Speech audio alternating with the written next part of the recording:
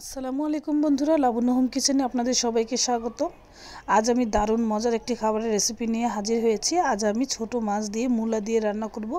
নতুন মূলা বেরিয়েছে, তাই মূলা দিয়ে ছোট মাছ দিয়ে রান্না করব। আর মূলা দিয়ে ছোট মাছ দিয়ে আমি হাতে মেখে রান্না করব। কীভাবে রান্না করি দেখতে থাকুন, খুবই ভালো লাগবে। এই যে এখানে কিন্তু আমি মূলা উপরের খোসাটা ছাড়িয়ে, তারপর পরিষ্কার করে ধুয়ে নিয়েছি। এখানে আমি মিডিয়াম সাইজে তিন পিস মূলা নিয়ে নিয়েছি।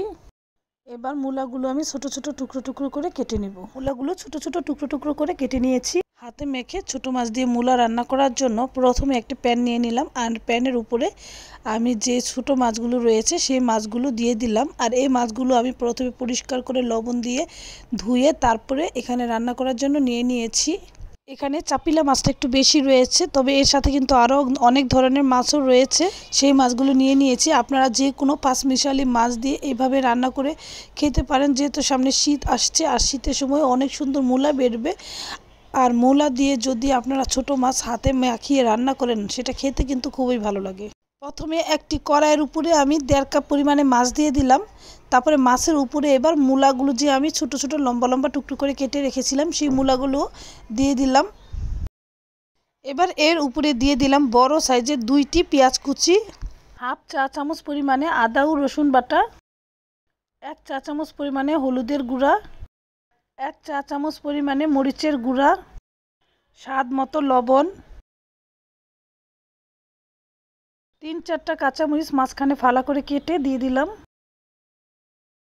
তেল দিয়ে দিলাম তিন টেবিল চামচ পরিমাণে। কড়াইটা কিন্তু আমি এখনও চুলায় বসাইনি।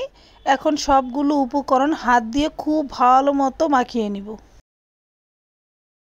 মশলা, মাছ ও মূলা হাত দিয়ে খুব ভালো মতো মাখিয়ে নিতে হবে।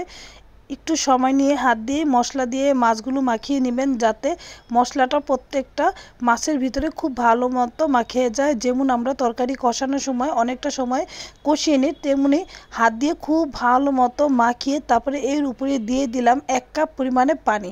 পানি দিয়ে আবার হাত দিয়ে খুব ভালো মতো মাখিয়ে তারপরে চুলায় বসিয়ে রান্না করে নিচ্ছি। এটা রান্না হতে খুব বেশি সময় লাগে না, জাস্ট পাঁচ মিনিটের মতো সময় লেগেছে রান্না হতে।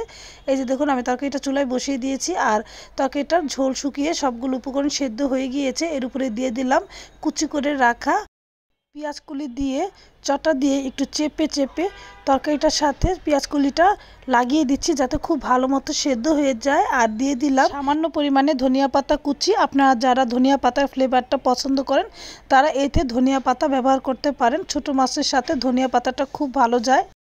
আর হাতে মাখিয়ে রান্না করা মাছের তরকারিতে ধনিয়া পাতা কুচি দিলে খুব সুন্দর একটা ঘ্রাণ আসে। আর আমার কিন্তু ছোট মাছের তরকারিটা রান্না হয়ে গিয়েছে। এবার আমি তরকারিটা চুলা থেকে নামিয়ে পরিবেশন করে নিব। আর এটা খেতে কিন্তু অনেক মজা লাগে। আপনারা একবার ট্রাই করে দেখবেন।